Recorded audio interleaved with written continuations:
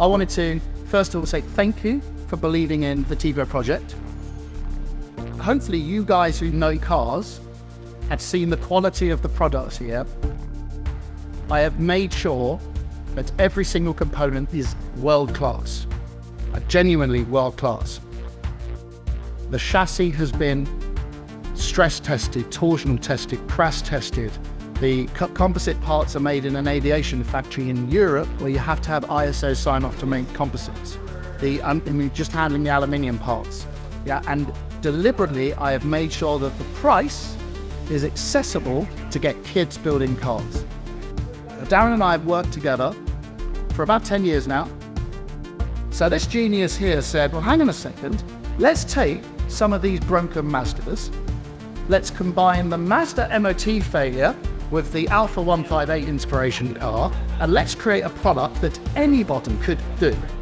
People build this product, have fun building it over you know, weeks, months, or as long as it takes, and then get in the car and then they drive it. They go to track days like this. Mm-hmm. So one thing that we're going to be doing today is that you're going to be handed over to some instructors who are going to let you guys loose in some track day experiences. So we want to say thank you for being patient, for believing in this project.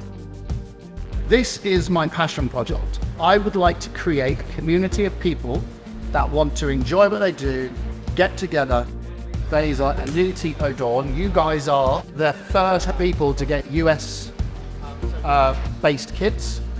There's 10 kits in here for the first 10 US customers, and that's just worked out chronologically. Whoever got in there first gets the first 10. And then we have an 11th car, which Darren and I are going to be using today as a demonstrator on how to build the project. For some bizarre reason, I'm just holding the door.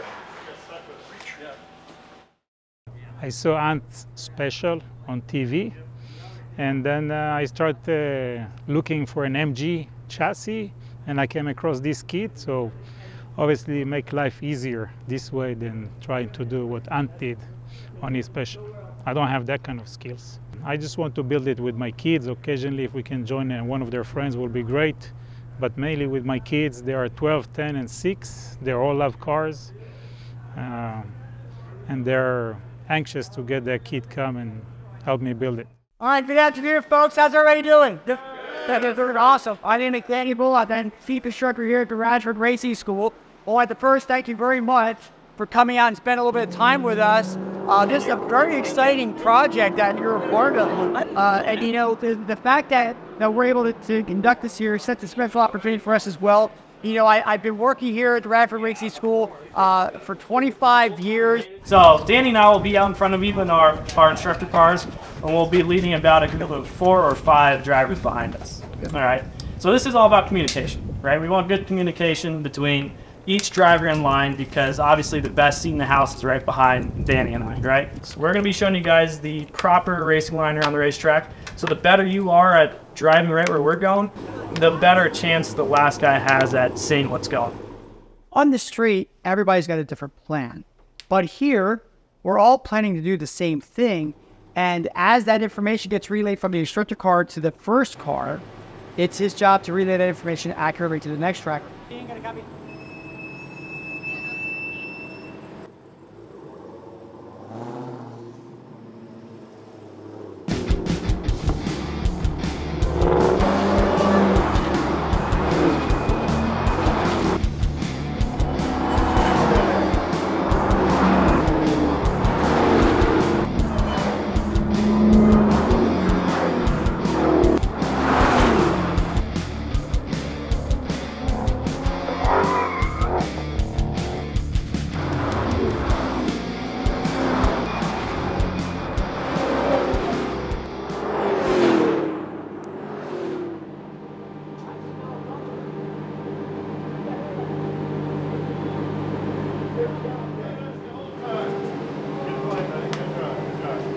track. This is where these cars belong.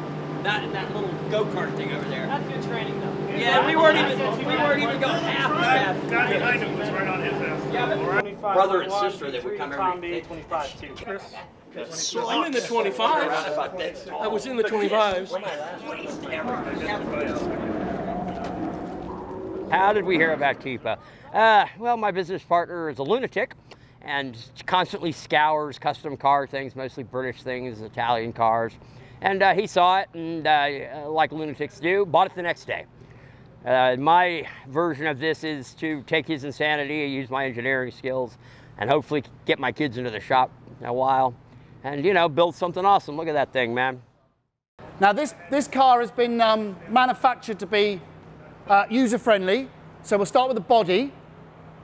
And the body's actually only made of a nose cone, a bonnet, a scuttle, a tail, and two sides. When you've got your pedal boxes fitted, get yourself comfortable in the car. You've got the choice, the two foot plates that are in there. You can either leave them in the car if you've got small feet.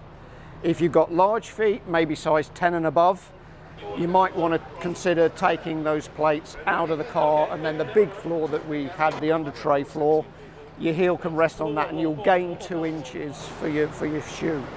So as I said, this is, um, this is a, a, a pride project for you guys. Uh, there's nobody, um, there's nobody monitoring you.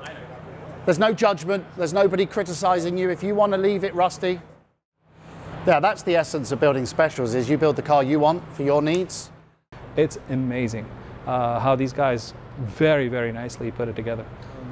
I would say no, absolutely no um, hesitant that uh, this will be a car that I'll own forever. I'll probably pass it on to friends, family, kids. The completion level of the kit, I mean, uh, the build quality of, for this thing is fantastic. It is next level. And the ease of the supply for the parts, the Miata parts, and things like that. So much thought and detail has gone into the engineering. Thank you, Darren. Is that it's just, there, you're never going to find any other kit car that even comes close to this. This is the pinnacle of kit cars right here. Action. Well, this is kind of a funny thing. I didn't even know it was called a Tipo at first. Uh, I, had been a big fan of Wheeler Dealers, so I would, had watched Ant through the years. And I think one summer session, he, he started building this car. And I just thought it was fascinating. And uh, I've always enjoyed his, his hands-on kind of approach. So that's, that's kind of where it started. But sometime later, in an unrelated conversation, I was talking to my best friend Sam, and, and he says, look what, I, look what I'm going to get. Look what I'm going to build. And I said, oh, that's funny. There was this guy on TV who was building a car like this. And he told me, well, it's, that's the guy. and that's, that's kind of where that all came from. And like I said, we're deliberately putting on this tatty stuff to show you the worst case scenario. It is too.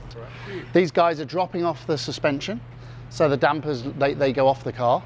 Um, and then Darren's going to talk you through some extra things you need to do.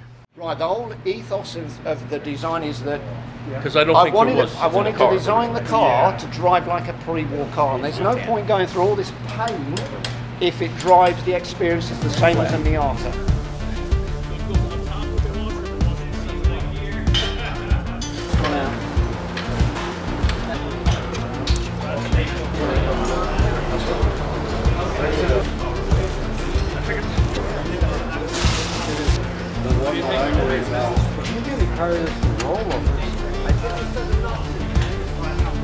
Okay, seven damps, you do one wheeling. Oh, really?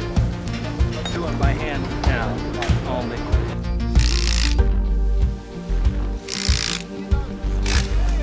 Judged by the boss. You want me to rotate But there's no arches, so you won't You get, gain anything there's no visual. Back on.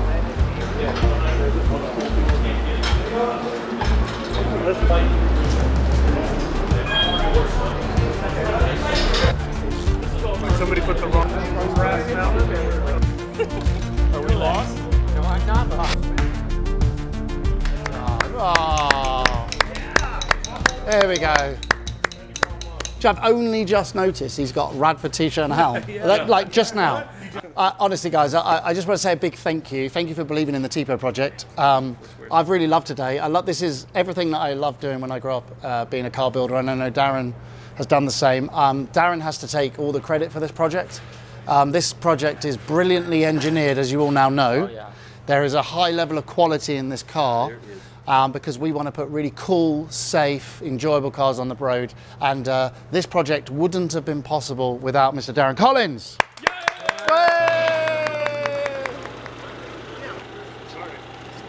This is this was the trial run. You guys are the guinea pigs of American Tipos. Um, and uh, you know, I'm really looking forward to seeing um, pictures, updates. Uh, the pioneers. I love this. We want to um, we want to make sure that we um, build a Tipo community. So if you put your builds on, on, videos, pictures, share them with loads of people. If you have any questions, everyone's got Darren's email.